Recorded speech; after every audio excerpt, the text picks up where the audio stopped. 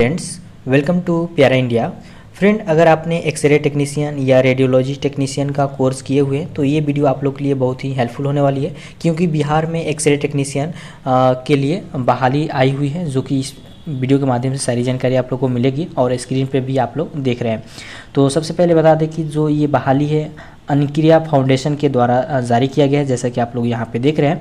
और इसमें दो तरह के पद मांगे गए हैं रिक्तियाँ मांगी गई हैं। एक है एक्सरे टेक्नीशियन और डेटा ऑपरेटर तो डेटा ऑपरेटर जो लोग कंप्यूटर कोर्स किए होंगे, वो लोग एलिजिबल हैं। अब यहाँ पे एक्सरे टेक्नीशियन जो ये पद है मेडिकल फ़ील्ड से आता है एक्सरे करने के लिए। तो यहाँ पे एक्सरे टेक्नीशियन कौन लोग एलिजिबल हैं क्या सैलरी होने वाली है कितने सीटें हैं ये सारा चीज़ यहाँ पे जो भी चीज़ें दी गई है हम आप लोगों को बताने वाले हैं।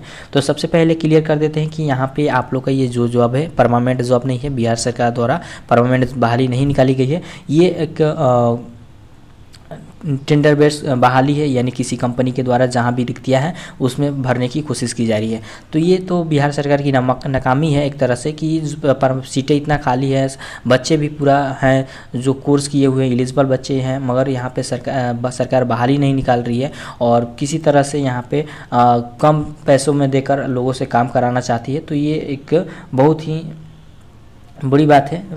बच्चों को लेकर इस इस बच्चों को भी डिमांड करना चाहिए कि जो भी सी, सीटें खाली हैं उस पर बहाली निकाला जाए।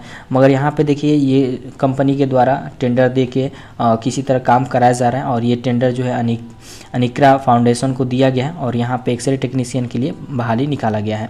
तो यहाँ पे देखेंगे एक्सरे टेक्नीशियन के लिए कौन से लोग एलिजिबल हैं? तो इंटरमीडिएट वाले बच्चे जो इन्होंने इंटर किया है, इसके साथ ही इनके पास तकनीकी तकनीकी डिग्री है। यानी कि अगर आपने एक्सरे टेक्नीशियन का कोर्स किया हुआ है, दो साल का डिप्लोमा कोर्स तो एलिजिबल है। या अगर आपने बैचलर कोर्स भी किया हुआ है रेडियोलॉजी तीन साल का तो एलिजिबल होंगे। ये चीज़ यहाँ पर दिया गया है।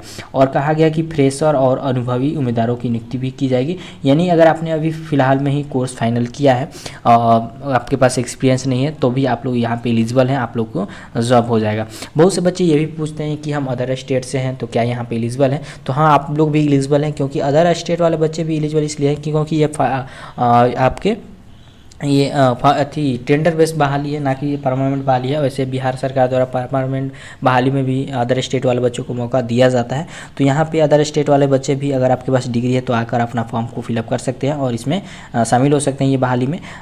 वैकेंसी सीट की बात कहा गया है तो डेढ़ प्लस सीट यहाँ पर कहा गया है। पूरा क्लियर करके ये भी नहीं बताया गया कि कितना सीट खाली है। तो डेढ़ सीट खाली है। अब देखिए कहाँ कहाँ जॉब लोकेशन है जहाँ पर आप लोग को बाहर जॉब करने का मौका मिलेगा, काम करने का। तरवल बांका बेगूसराय भागलपुर भोजपुर बक्सर गया जमुई जहानाबाद कैमूर खगड़िया लखीसराय मुंगेर नालंदा नवादा पटना रोहतास और शेखपुरा। तो ये जो बिहार के ज़िले हैं इन सभी ज़िलों में जो भी आ, प्राथमिक स्वास्थ्य केंद्र है या सामुदायिक स्वास्थ्य केंद्र है, वहाँ पे आप लोग को जॉब करने का मौका मिलेगा। तो ये चीज़ है।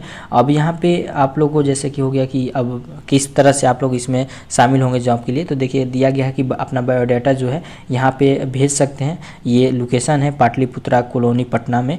यहाँ पे अथी पोस्ट ऑफ़ से भेज सकते हैं बायोडाटा को अपने। या ईमेल आईडी पे भी सेंड कर सकते हैं। ये ईमेल आईडी और मोबाइल नंबर भी यहाँ पे दिया गया है। इस मोबाइल नंबर पर भी भेज सकते हैं या जो भी आपके क्वेश्चन है, इस नंबर पर कॉल करके भी जान सकते हैं कि कितनी सैलरी होगी क्या, किस तरह से, जो भी आपके मन में डाउट्स है, वो सारा सवाल यहाँ पे आप लोग पूछ सकते हैं। तो देखिए फ्रेंड यहाँ पे जो भी बातें दी गई थी, हम आप लोगों को बताने की कोशिश की है। वीडियो हेल्पफुल लगे तो लाइक करें, अपने दोस्तों, साथियों को शेयर करें और इससे संबंधित जो भी डाउट्स है कमेंट बॉक्स में रख सकते हैं।